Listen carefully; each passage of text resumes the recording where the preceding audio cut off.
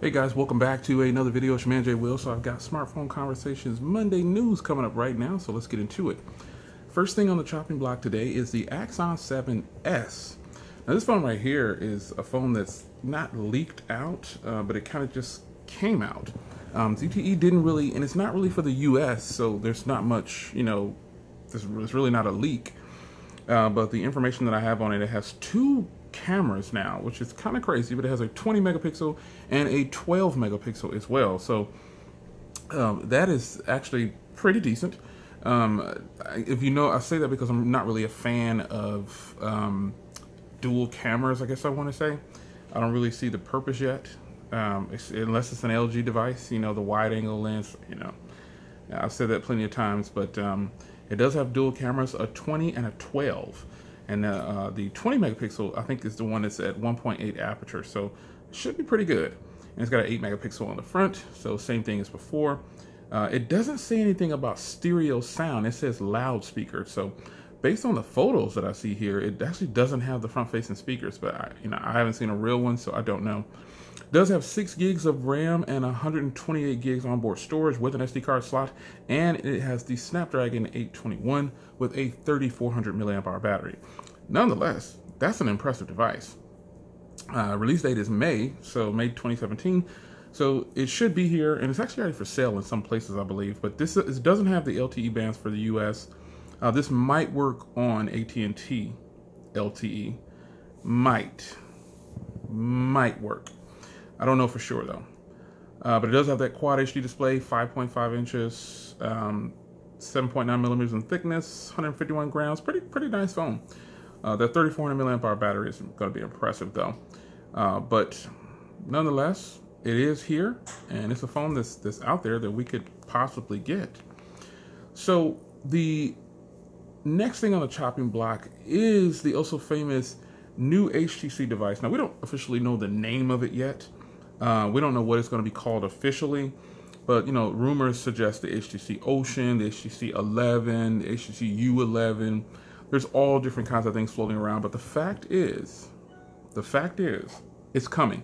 The announcement is going to be on May 16th, so make sure you're tuning in to check that out. I think that's going to be pretty interesting, and I think it's going to be uh, something that I think we're all going to be excited about. Probably, at least I know I will.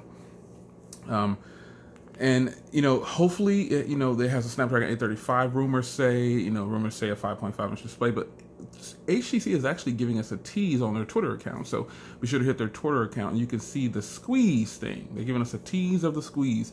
So the sides are going to have some kind of um, motion or squeeze. You know, to, you can do gestures like turn on the camera, I guess, or launch the applications. I don't know yet. I haven't had any officially official hands hands on, uh, but.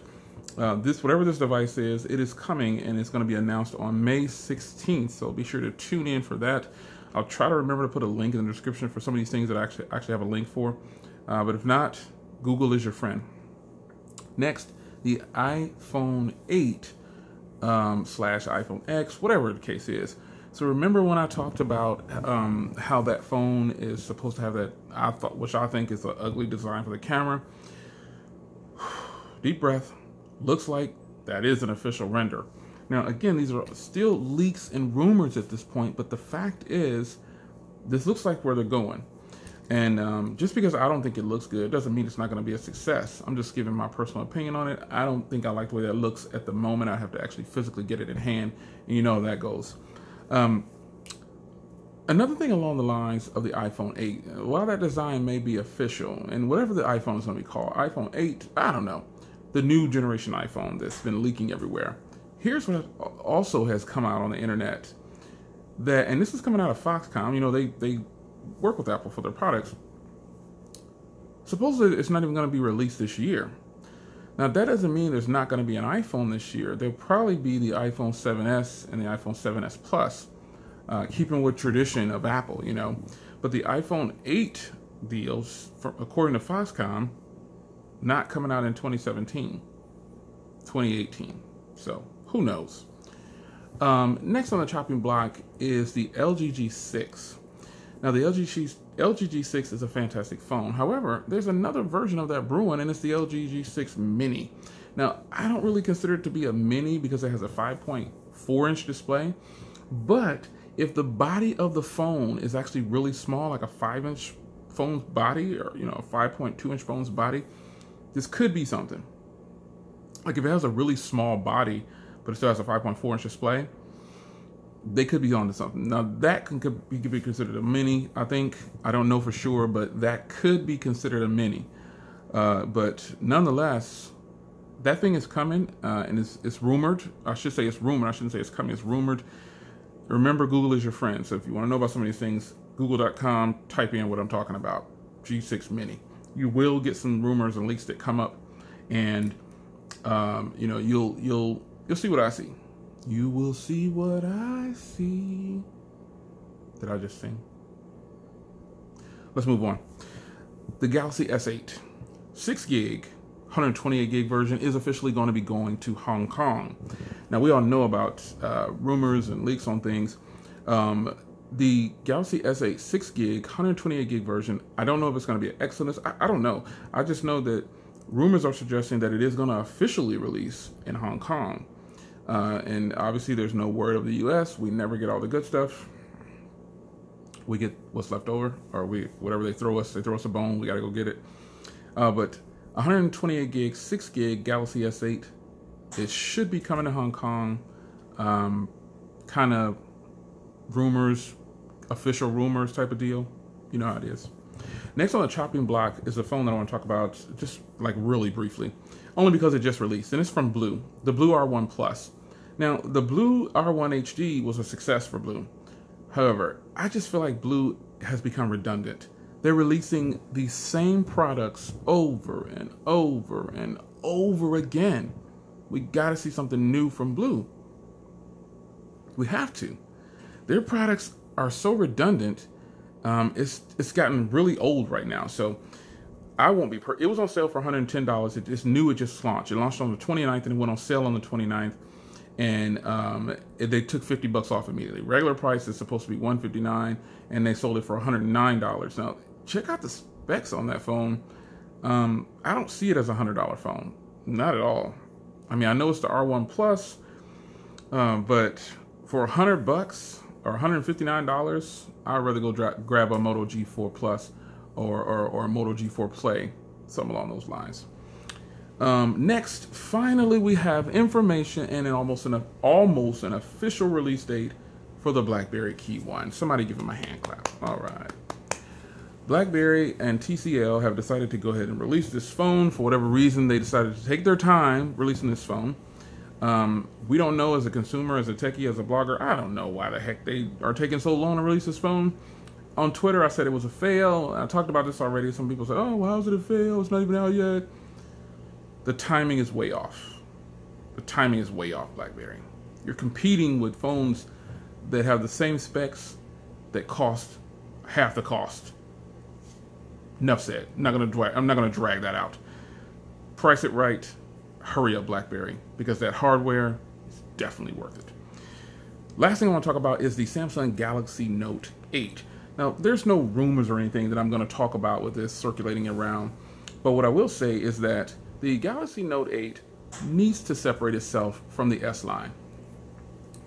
I'm tired of Samsung keeping the S line, you know, the S line is, is like their top sellers, obviously, but the Note line is your superior phone. It's supposed to be the kill all, say all, I'm the top dog.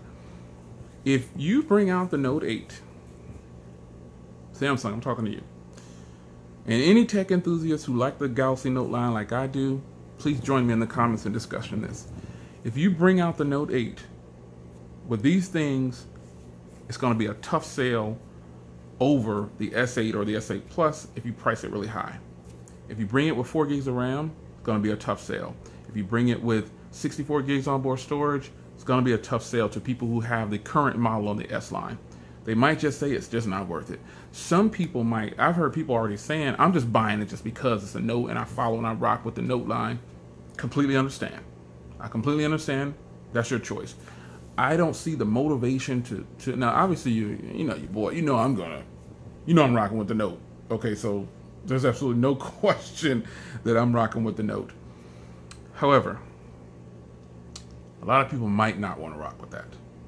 You've got to make your um, your your note line look superior on paper and in real life and on in person. It's got to be bigger and badder than the S8 Plus because reality is the Galaxy S8 and the Galaxy S8 Plus thumbs up. Thumbs up. The S8 Plus thumbs up. Why would you sell a person the S8 Plus over the Note 8? Or why would in reverse, why would you sell the Note 8 over the S8 Plus?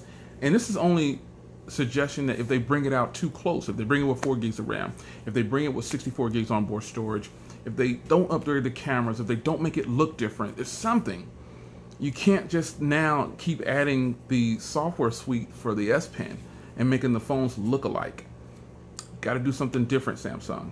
So I'm hoping that the Galaxy Note 8 brings the thunder. I mean, I hope it has a 6.4 inch display and a compact body. I hope it's wider. You get the S Pen. I hope I get 128 gigs on board, 64 gigs storage, or 64 gigs RAM, 128 gigs on board storage, an option for 256 gig. Give us something that makes it stand out. I don't care if they take away the SD. If they take away the SD card and just give 128 gig models and 256 gig models, all in. 256 gig all in. Even if they sell it for 9.99, would you buy a Galaxy Note that costs 9 Now consider the current pricing of the S8. The S8 Plus is 850, the S8 is 750. Let's talk more about the S8 Plus. Would you buy a Galaxy Note that has 6 gigs of RAM, 128 gigs, or 256 gigs that cost 950? And it's got a 6.4 inch display, a Snapdragon 835 or the latest Exynos processor. No SD card, but you still get waterproof and you get those two memory options. Would you buy that for 950? I would. I would. So Sammy, if you're listening, I hope you see. I hope some of the PR team from Samsung sees this video, which I am. Share it with them, I guess. Share it on Twitter to Samsung, and tell them to fast forward to the last uh, three minutes of the video, or four or five minutes of the video, so we can talk about how great the Galaxy Note 8 really needs to be. Samsung has almost confirmed that it's coming out this year, folks. I got my bread ready. So it's man Jay Will. Monday smartphone news. I think it's May 1st already. Oh my gosh. So I'll see you guys in the comment section. Be sure to leave a very valuable comment. Take care.